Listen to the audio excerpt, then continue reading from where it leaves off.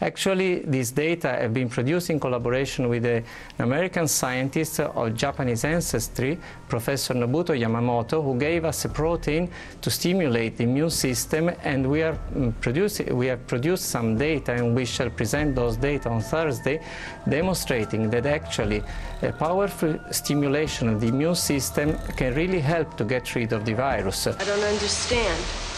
What don't you understand?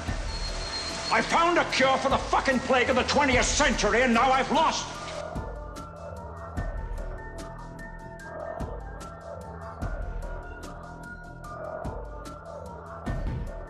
We began to work uh, on the so-called chemical GC-MAF about two years ago. As you know, the GC-MAF, GC stands for group component and MAF stands for macrophage activating factor. It is a protein known for about 20 years and the researcher who gave uh, the highest contribution is uh, Dr. Nobuto Yamamoto. He's of Japanese ancestry, but he has been working in the United States uh, for the past, I think, 30 or 40 years. So this protein is a powerful stimulator of the immune system and this protein is very effective in the fight against cancer, against autoimmune diseases and also against HIV infection and AIDS.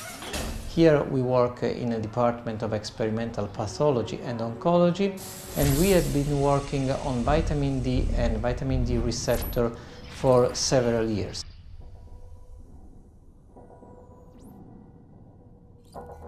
At the beginning of the 21st century, the Umbrella Corporation had become the largest commercial entity in the United States. Nine out of every ten homes contain its products. Its political and financial influence is felt everywhere. Have you brought me? Uh, policeman, Lieutenant D'Augusta. Well, how goes the gradual extinction of the human race, Lieutenant? I'm doing what I can to keep it orderly.